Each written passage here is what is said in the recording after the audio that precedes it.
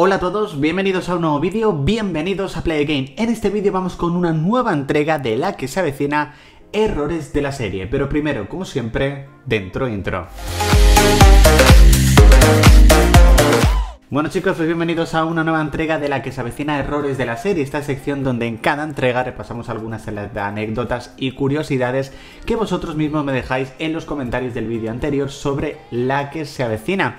Eh, si no quieres perderte la próxima entrega, ya sabes, suscríbete al canal, activa la campanita y así te notificaremos en el momento en el que subamos un nuevo vídeo aquí, a Play Game. Por supuesto en la descripción del vídeo os dejamos el enlace a todas nuestras redes sociales para que nos sigáis, para que estéis al tanto de todos los contenidos que subimos además de disfrutar de aquellos contenidos exclusivos. Y desde ya nos puedes dejar en los comentarios, justamente en la parte inferior del vídeo, tus errores para la próxima entrega de la que se avecina errores de la serie, pero por supuesto vamos a comenzar con este volumen número 44. Comenzamos con Juan Martos García que nos indica en el capítulo en el que Coque y Berta tienen hongos, este tiene mucho miedo a los médicos y se niega a ir. En la sexta temporada Enrique busca embarazar a Judith y Coque le recomienda consultar a uno, que el médico hay que ir siempre y que fue por una duda de sus testículos. La verdad es que este capítulo de los hongos lo he visto hace muy poquito por el mega maratón que estoy haciendo de la que se avecina y sí que es verdad que le tiene muchísimo miedo a los médicos y no quiere ir. Y luego es en la sexta temporada cuando pasa lo contrario, cuando es Coque el que le recomienda a Enrique que vaya al médico y que siempre hay que ir. La verdad me ha parecido muy curioso, no me había dado cuenta todavía, no había llegado a la sexta temporada, así que es un error bastante bueno. Vamos con Cristina Vidal Peris. Cuando reencuentran, se reencuentran Clarita y Josito en casa de las Morcillos, se pregunta en la edad y él dice que tiene 33, a lo que Clara le dice la edad de Cristo. En la siguiente temporada Fermín le dice 40 años y solo sabe darle a la zambomba y Josito dice tengo 38. ¿Cómo es posible? ¿Han pasado 5 años volando?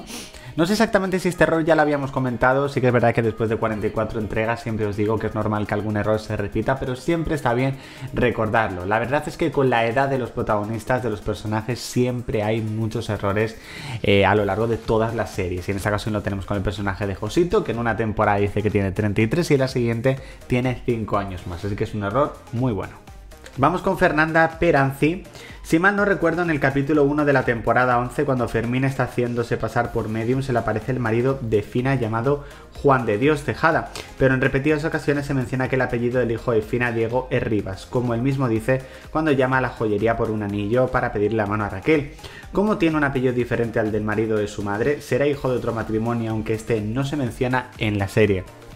También esto pasa a lo largo de todas las series, muchos errores con el tema de los apellidos, de los hermanos, de las familias. La verdad que es algo que es normal cuando sobre todo hay series luego muy longevas, es normal que haya este tipo de errores porque son pequeños datos que sí que es verdad que hay mucha gente como vosotros, como nosotros que nos damos cuenta en algún momento, pero que en ese momento pues por la cabeza de los guionistas pues no pasa, que puede ser porque todos por supuesto somos humanos, así que es verdad, en un principio sí, Fina únicamente ha estado con un hombre, a no ser que veamos en futuras temporadas que son no sucede y en esta ocasión vemos como el apellido del hijo de Fina es distinto al de su marido.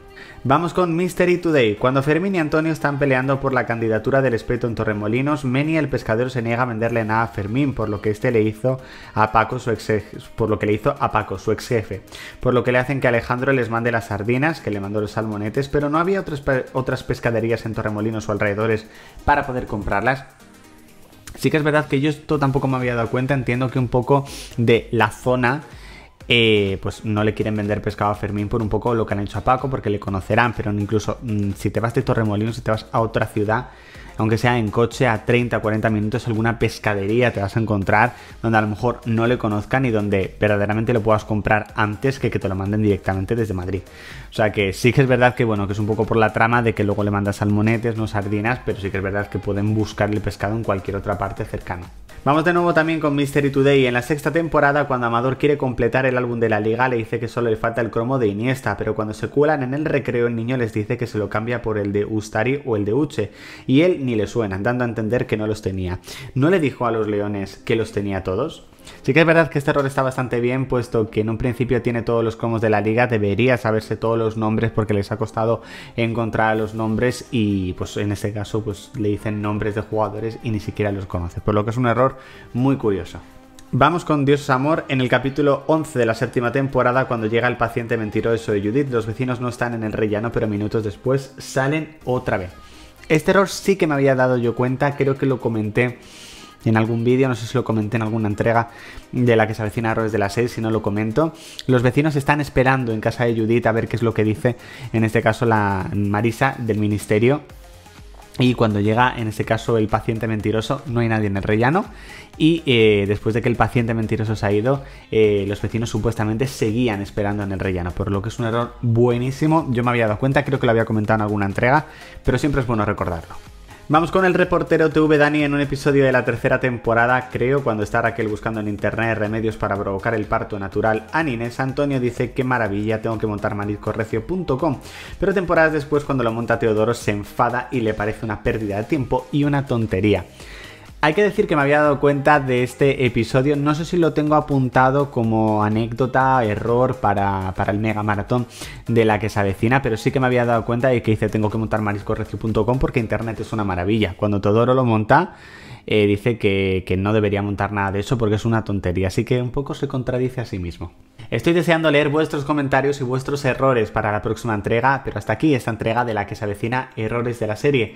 Espero que os haya gustado el vídeo y recordad que el entretenimiento continúa en YouTube y redes sociales.